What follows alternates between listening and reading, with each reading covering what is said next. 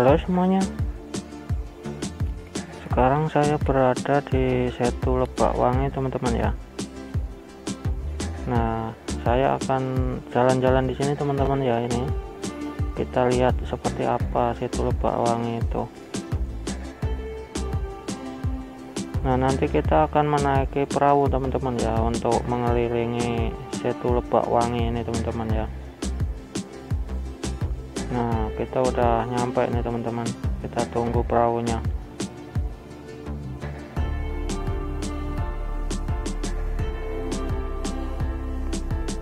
Nah sekarang saya udah berada di atas perahu teman-teman ya. Kita mulai jalan untuk mengelilingi setu lebak wangi teman-teman ya. Ini harga sewa perahu cuma 10.000 teman-teman ya per orangnya ini 10.000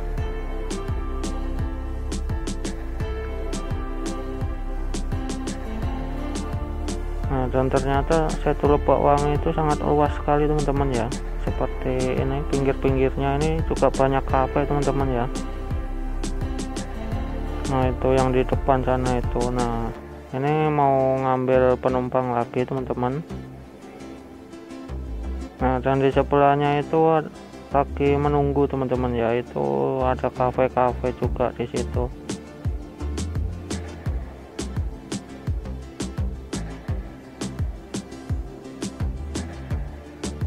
Nah yang di depan itu juga kafe teman-teman ya itu yang ada payung itu. Nah ini mulai berangkat lagi teman-teman. Untuk mengelilingi ini satu lebak wangi teman-teman. Ya ini satu putaran 10.000 per orang ini.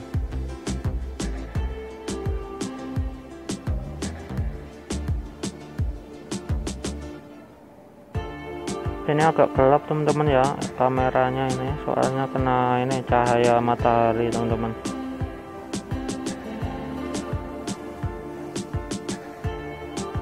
nah seperti ini teman-teman ya. Ini juga cafe teman-teman ini. Cuma ini dari belakangnya ini.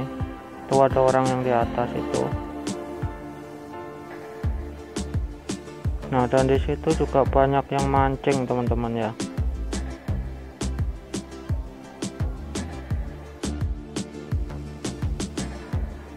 Nah ini pinggir-pinggirnya seperti ini teman-teman ya. Ini pinggir danau nya seperti ini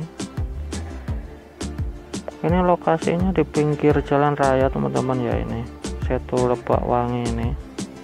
Berlokasi pinggir jalan raya. Tepatnya di Bogor teman-teman ya.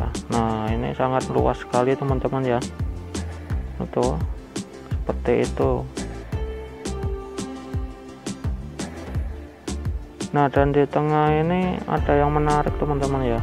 Jadi di tengah danau ini ada ini teman-teman pulau semacam pulau teman-teman. Nah itu yang di depan itu. Pulau kecil.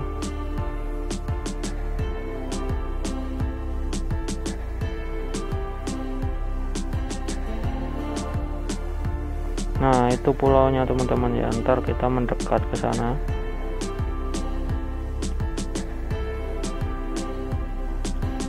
Dan di sini wahananya masih banyak teman-teman ya nah ini yang di pinggir-pinggir ramai teman-teman ya. Lagi ini menunggu di tempat wahana ini teman-teman ya. Lagi ngantri.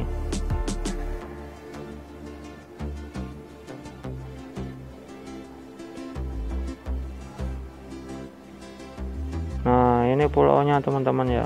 Semacam pulau cuma nggak nggak bisa di ini teman-teman ya. Kita turun ke situ nggak bisa ini sekedar buat maskot aja teman-teman ya. Nah seperti ini. Ini ada tulisan desa wisata Pamekarsari teman-teman ya.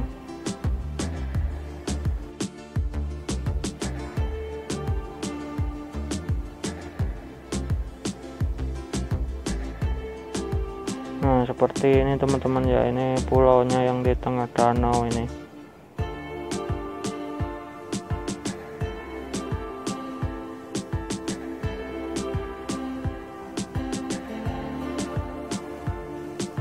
nah dan di sana itu juga ada wahana balon teman-teman ya. Jadi balon air yang bisa dimasukin oleh orang teman-teman ya di dalamnya. Jadi orangnya masuk ke dalam balon teman-teman.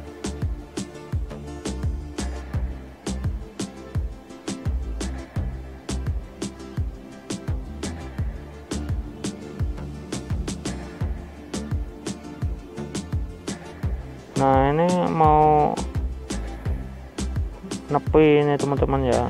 Ini udah selesai satu putaran.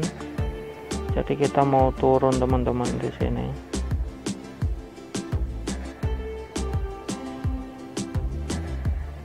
Ya kiranya cukup sekian teman-teman ya dari saya.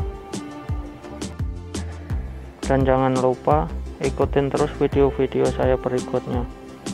Sampai jumpa